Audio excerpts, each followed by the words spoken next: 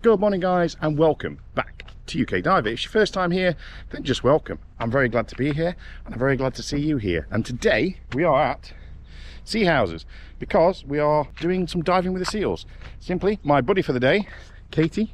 Hi Katie. Hi. Has been up here a few times and every time she's been, she's been blown out. So she's coming with Andy and we're going to go and dive some seals. So come along and join us.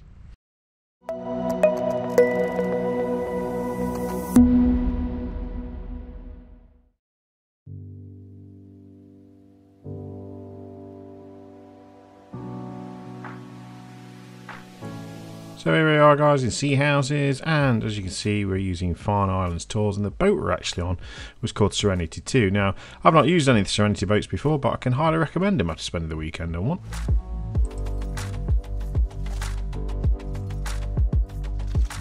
Happy to report that we had some glorious sunshine in calm seas and where we're actually heading to is one of my absolutely favourite dive sites for meeting seals and that is the Hopper.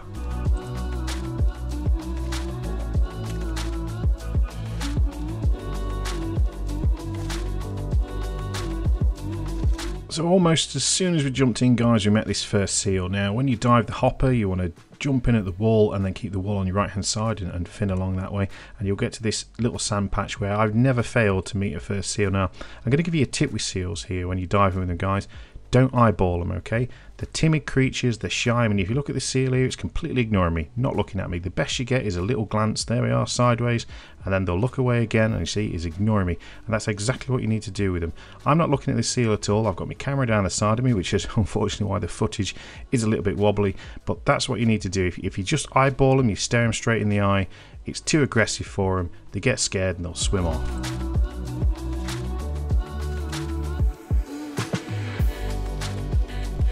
Although there's plenty of seals about this weekend, they weren't super playful. It was a little bit early in the year to get the new pups, so there was plenty about, but none of them really playing with you until we met this little gorgeous cutie, and this was our absolute star of the weekend. So right here where I'm sort of videoing it, she's been playing with me, nibbling me, nibbling the camera, nibbling my hands, and she basically wants to play fetch with this bit of kelp here. Look, she's doing. So I'm trying to kind of get her to pass over to Katie's, play with Katie, so I get some video, and just here she gets bored with me and does move over and have a little play with Katie.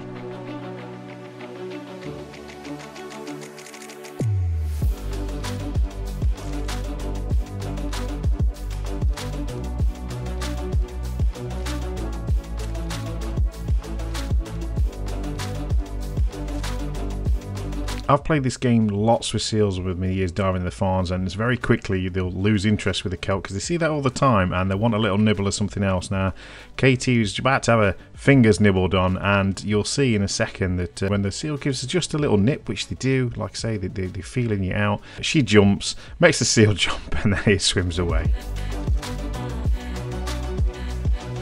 So when you get to this bit, the hopper guys, this is where you want to hang around. So there's a big crack in the rocks here and it's like boulder lined. And uh, this is where I've seen them, like 30, 40 of them sat sleeping.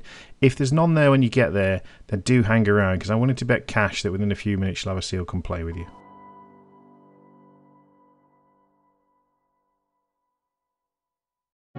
And the Farnes isn't all about the seals, guys. There is plenty of other wildlife. Being like a voluntary marine reserve and voluntary no-take zone, there is lots and lots of life to see. And this lobster, I don't know what it was doing. I mean, lobsters normally back into a hole straight away, and this one certainly seemed to be having a bit of a wrestling match with whatever else was in there, but it was determined to get in. But I've never seen a lobster kind of out in the open like this. It was very vulnerable at this point, but uh, yeah, I couldn't see what it was trying to do.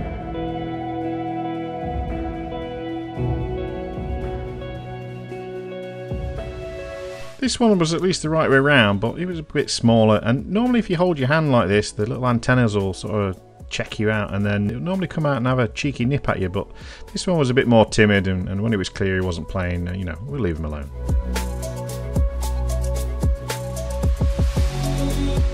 Just below him was this little flatfish. Now, I've been told by some fishy experts that if it's a flatfish on a rock, it's a top knot. So, yeah, this is a top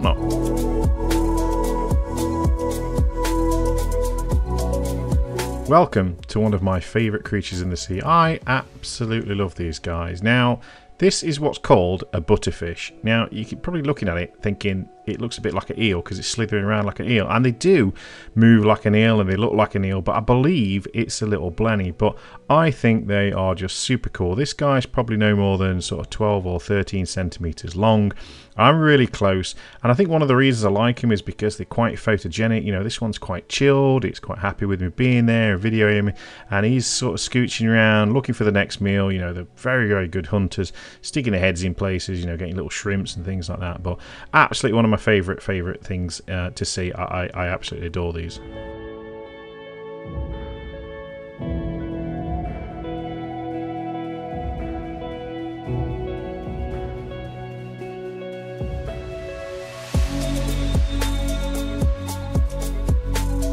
So I had to include some footage of this guy because he's just so super cute.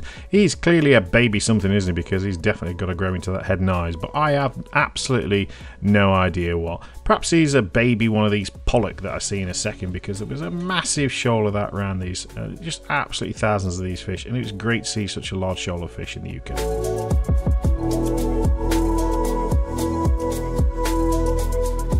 So look at this guys, look at this. You wouldn't believe it. So we've got a little dip, a little bowl in this rock and here we find a curled octopus just sort of flattened himself in. So got to give credit to Katie, she spotted this. But I was able to get super close and get some really good footage of this guy because he just didn't move. He was motionless. I couldn't even see his breathing tube at one point. And we got sort of a full sort of, you know, 180 round with him. And, you know, I, I pushed me luck a little bit. I got a bit too close, and it would look like he was going to bolt. Now, if a seal saw this, it, it, would have been devoured. I didn't want the guy getting eaten, so so when he goes to go, I'm just like, no, mate, it's all right. I'm going to back off. We're going to like, oh, oh, no, no, no need to go, no need to go. I'm going. I'm going to back off. You, you, you relax. And we sort of had a little word, had a little chat, sort of, you know, establish boundaries. You know what I mean? You've got to respect the wildlife and not push your luck. So just fin backwards a little bit. He sort of relaxed, kept an eye on me, and he settled down right as rain again, and we sort of left him alone. But what an absolutely brilliant little find. So that's it guys, the Farnes for 2022 done. If you like this video and you like this content then please do let me know by giving that like button a little tappy tap because it does let me know that the effort I go into to put these videos together for you is appreciated. But other than that guys, I'm off to Malta in a couple of weeks so I guess I will see you on that. Look after yourself, dive safe, and as always, I will see you on the next one.